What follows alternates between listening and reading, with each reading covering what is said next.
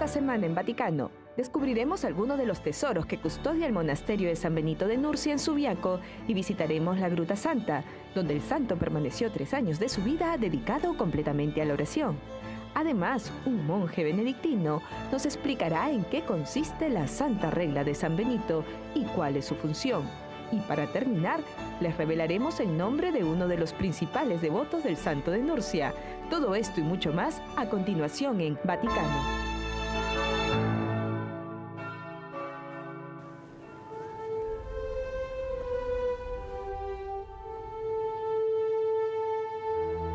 A 70 kilómetros de Roma, en lo alto del valle del río Anio, se encuentra la ciudad de Subiaco, conocida como tierra de monasterios. Desde siempre esta zona ha sido meta de numerosos turistas, como demuestran los restos de la villa imperial construida por el emperador Nerón.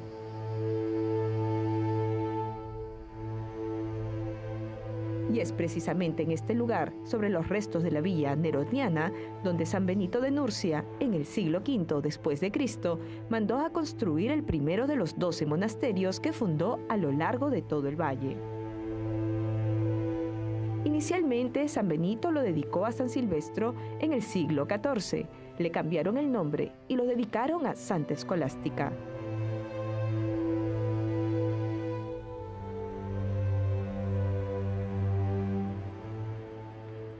Es el único de los 12 monasterios que sigue en pie. A dos kilómetros de Subiaco, inmerso en un bosque de robles, se encuentra el Camino de los Monasterios, que lleva al monasterio de Santa Escolástica.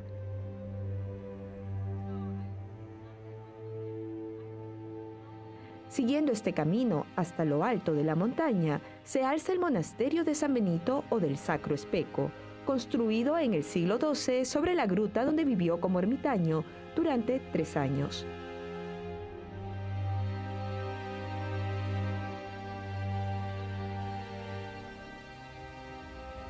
Encastrado en una imponente pared de roca, al borde de un precipicio, este monasterio garantiza al visitante una auténtica experiencia mística. Cuando el Papa Pío II lo visitó en 1461, lo describió como un nido de golondrinas.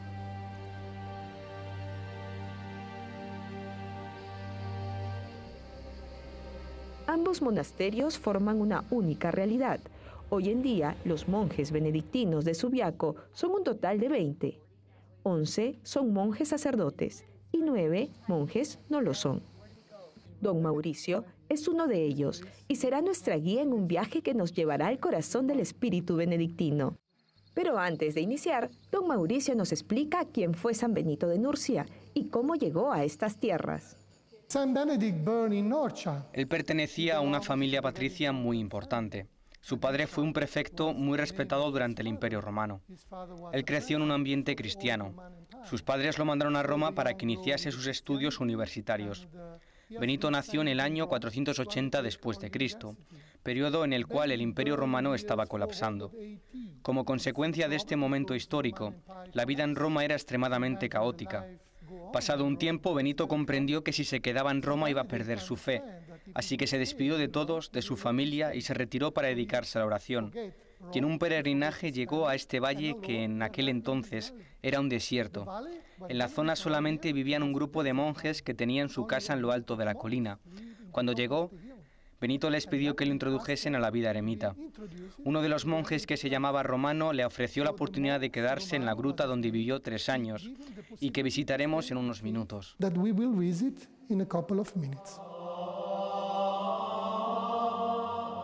En el complejo monástico de Sacro Especo o Gruta Santa existen dos iglesias superpuestas y numerosas capillas y grutas recubiertas de frescos que datan de los periodos artísticos diferentes. Iniciamos desde la parte más alta del monasterio, que es también la más reciente, y entramos en la iglesia superior. El ambiente está dividido en dos arcadas o secciones.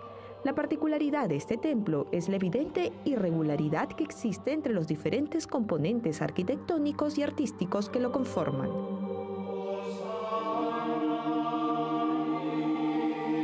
De ahí la extraordinaria riqueza de esta iglesia, no solo desde un punto de vista estético, sino también desde un punto de vista catequético. This chapel, you know, this is a Gothic church. So Gothic means 14th century. Esta iglesia es de estilo gótico, por lo tanto hablamos del siglo XIV, pero además podemos encontrar restos de una iglesia románica del siglo XIII. Por lo tanto vemos cómo estas dos iglesias se construyeron una dentro de la otra. Por otro lado, los frescos datan del siglo XIV.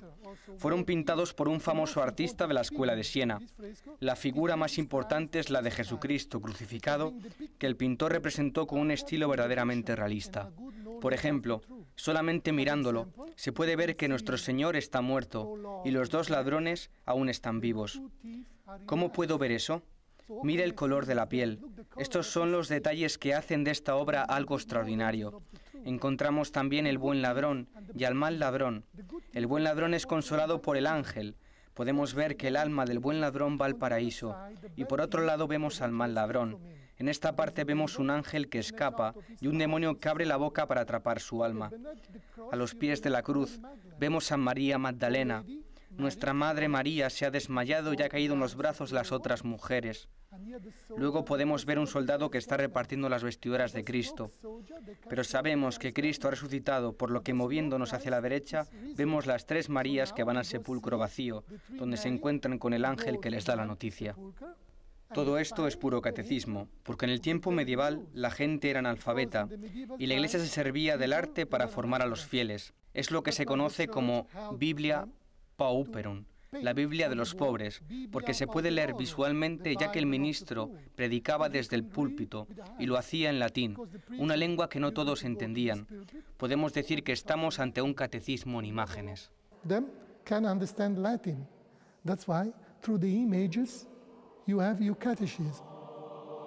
Si nos adentramos un poco más en la iglesia, llegamos a la segunda arcada, en esta zona, los frescos narran algunos de los momentos más significativos de la vida de San Benito.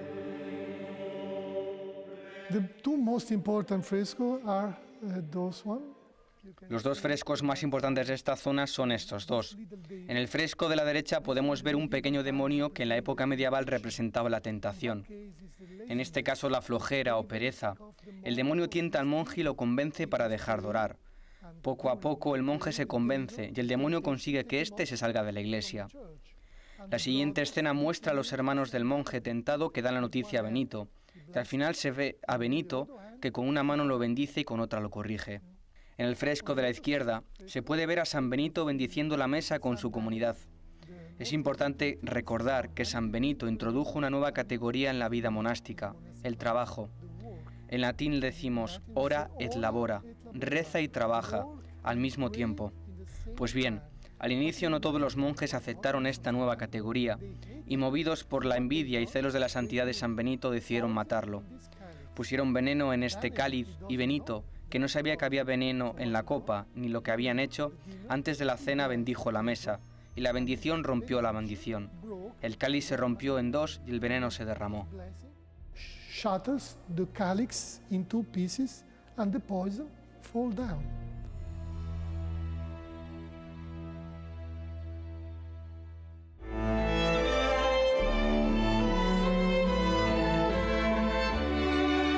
Con nosotros a regresar más en Vaticano.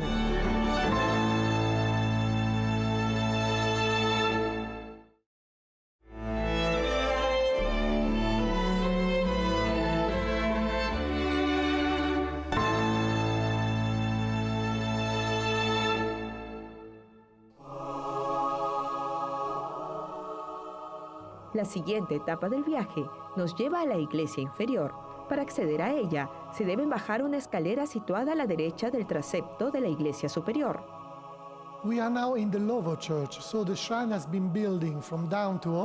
Nos encontramos en la iglesia inferior del complejo. El santuario fue construido de abajo hacia arriba, por lo que, como ya hemos dicho, podemos encontrar dos iglesias, la inferior y la superior. En este primer ambiente, los frescos más importantes son de estilo bizantino, es decir, de inicios del siglo XIII. En estos vemos representados los cuatro evangelistas. Las diferencias más importantes entre los frescos del siglo XIII Los del siglo XV que veremos luego son dos. En el estilo bizantino no hay una perspectiva y el cuerpo de cada evangelista está representado junto al símbolo que lo representa. Podemos ver cómo el cuerpo humano se funde con el símbolo y las alas representan la santidad. De esta manera vemos a San Mateo que es un ángel, nuestro Señor un cordero, San Lucas como un toro y San Marcos como un león.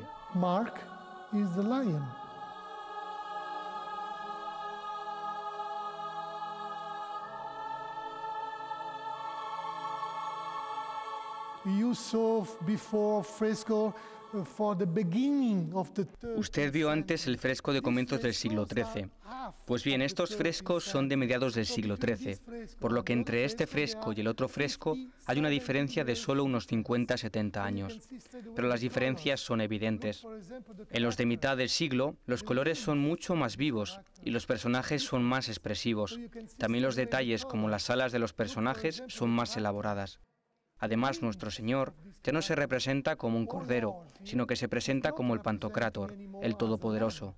Los peregrinos, cuando suben la escalera santa de rodillas para rezar en la Santa Gruta, reciben la bendición de nuestro Señor e inmediatamente llegan a la gruta para rezar. Luego suelen ir a la iglesia superior y oír misa. Esta era más o menos la peregrinación del tiempo medieval.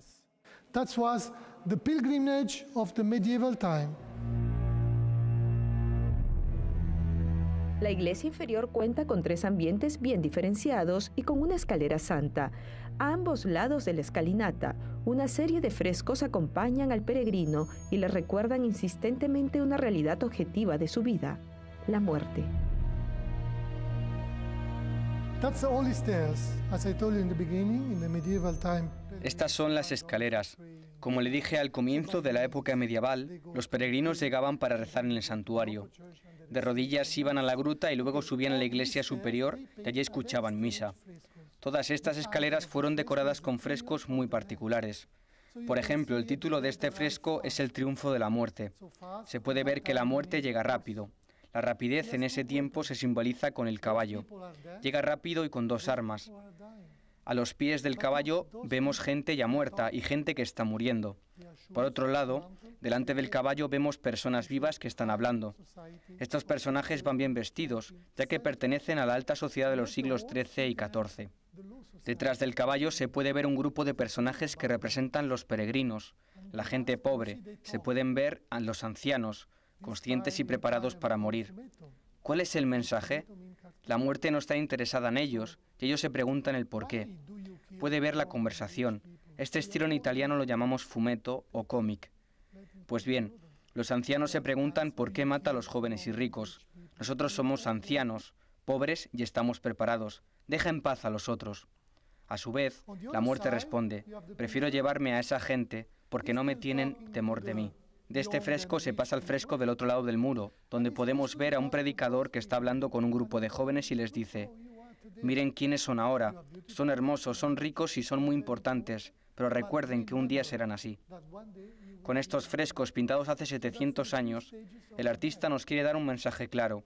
A pesar de ser rico o pobre, de vivir en una realidad u otra, sin importar quién seas, joven o viejo, no olvides una certeza, que algún día tú también morirás.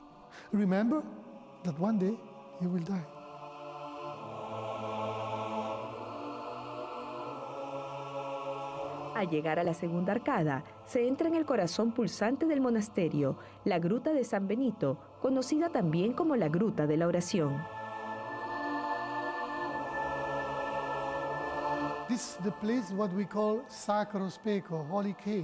Este es el lugar al que llamamos Sacrospeco, Gruta Santa, porque San Benito vivió aquí tres años solo orando y dedicado a la meditación.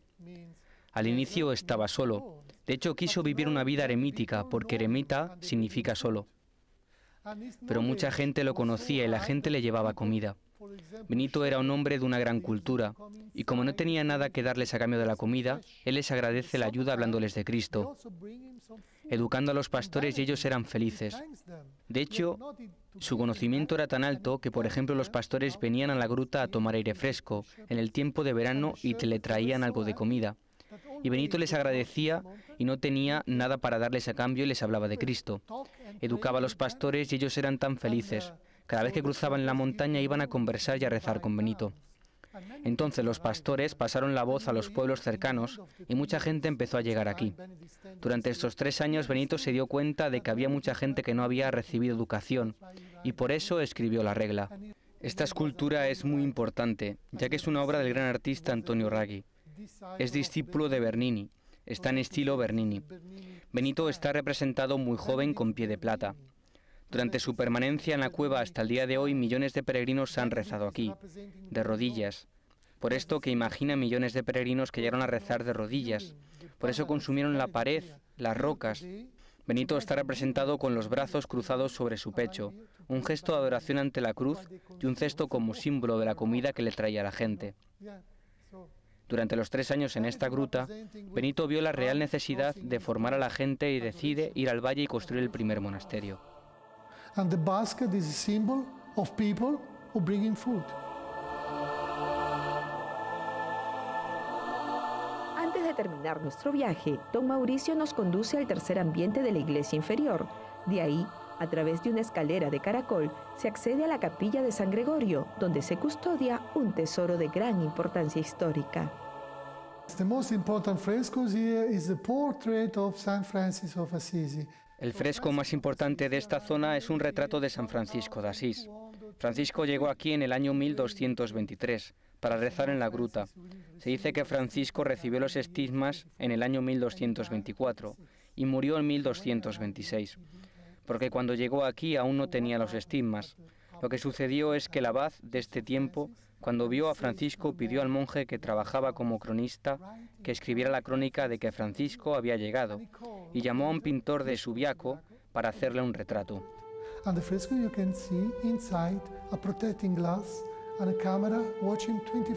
El fresco está protegido al interno de una urna de cristal, con un protector y una cámara encendida las 24 horas, porque este fresco es único. En este fresco se puede ver a otro Francisco, sin los estigmas, sin el halo de la santidad. Y además en un lado se puede leer la frase Pax Uic Domi, paz en este lugar. Él vino a rezar en esta gruta. En aquel entonces él era importante, tres años antes de que muriera. En toda Europa era conocida la figura de San Francisco, al que la gente recibía entusiasta e inmediatamente querían tocarlo y hablar con él. Y lo reconoció y le dijo a los monjes que registraran su visita en las crónicas para contarle a la gente que había recibido en el monasterio a San Francisco. Por eso llamó también al pintor, porque antes solo a los hombres importantes se les pintaba en vida, como los cardenales los papas. Pero Francisco no era un cardenal ni papa, era Francisco.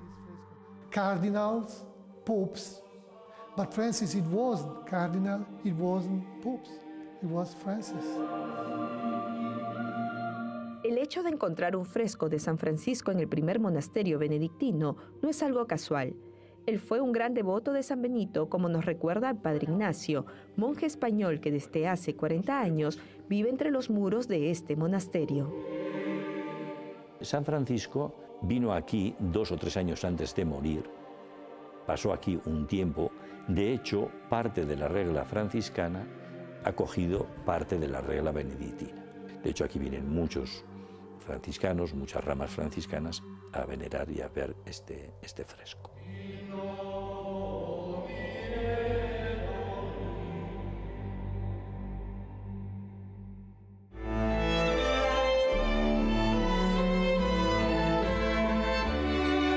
Con nosotros a regresar más en Vaticano.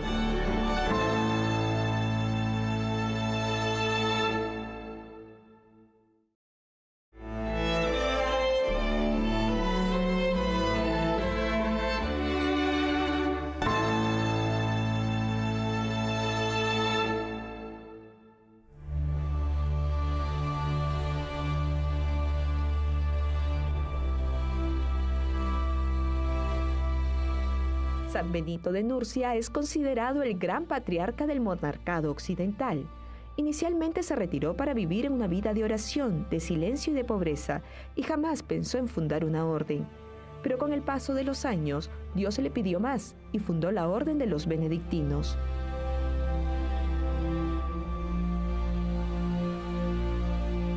Él en la gruta, en la gruta se dedicaba a, a la oración, ¿no?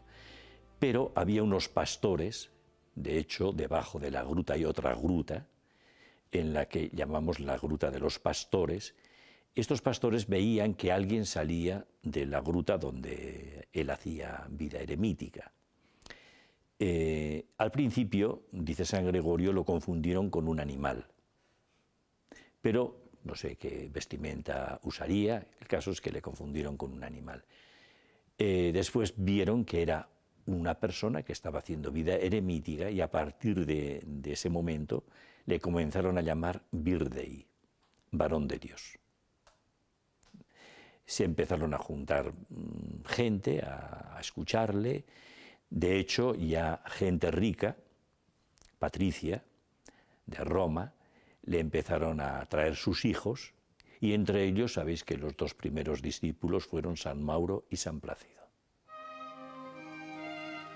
Con esta orden monástica, el santo de Nurcia hizo brotar de las ruinas del Imperio Romano la cultura y la civilización europea, y es precisamente por esta razón que el Papa Pablo VI lo proclamó patrón de toda Europa.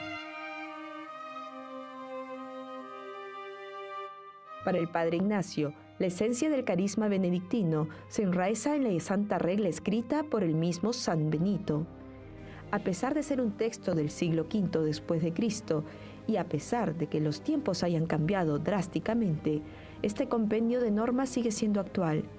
Con la regla, el santo de Nurcia organiza la vida monástica en torno a tres grandes pilares, la oración común, la oración y meditación personales y el trabajo.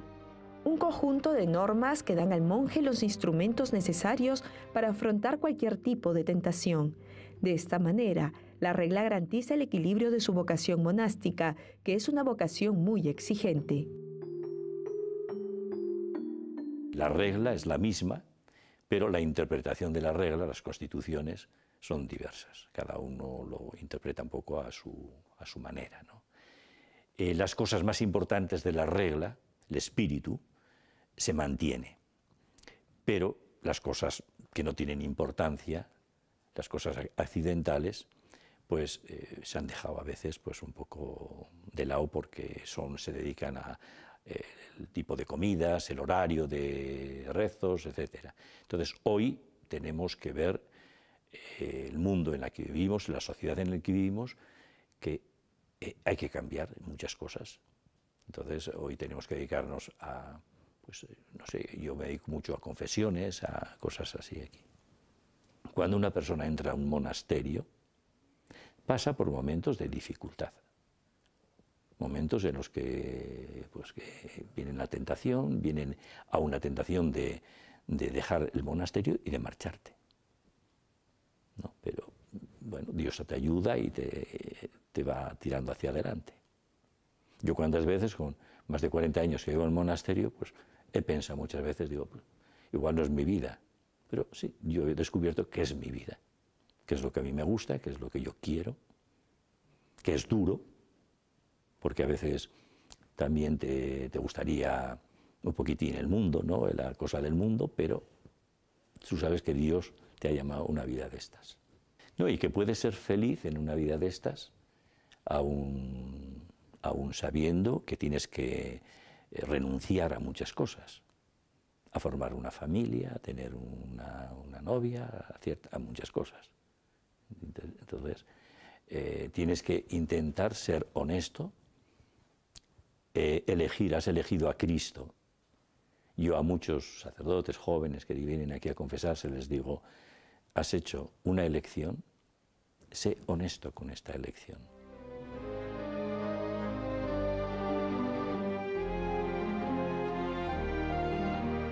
Otro aspecto importante del carisma benedictino es la acogida, una acogida que no hace diferencias entre las personas, como explica el padre Ignacio.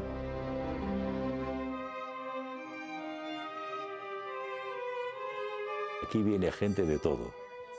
Viene gente con fe, esperando aún, puede ser que un milagro. Viene gente con turistas, que vienen a ver los frescos y se ve, se ve enseguida. O sea, yo a veces cuando estoy celebrando la misa, pues entra gente y va mirando los frescos y la misa no le interesa nada. O sea, es señal de que mucha gente viene, pues como viene. Hay gente que viene en plan de deportivo, pues por caminar, por andar, o por conocer esto simplemente. O sea, tenemos tipos de gente, de todo. Y creo que es importante, pues, dos cosas. Respetar a la persona que viene y acogerla. Sea que venga como turista, como deportista, como creyente o, ateo. Hay gente que viene simplemente por, por desahogo, o sea, porque alguien le escuche. Eh, en vez de andar a un psicólogo, viene aquí. Eh, yo creo que es importante acogerlo bien y yo creo que se les puede hacer un bien, porque eh, Dios creo que se vale de momentos de estos, o sea, de nosotros, por ejemplo, para personas que no creen o que al menos no tienen una idea muy clara de lo que es la fe, para cambiar y, se puede llegar a cambiar. Yo creo que es importante que nosotros tenemos que acoger a estas personas y, no sé, y creo que se les puede hacer un bien muy grande y una cosa, a mí me parece, vamos, que no es porque crean o no crean, sino es porque, como dice San Benito, se, se acoge a Cristo en estas personas.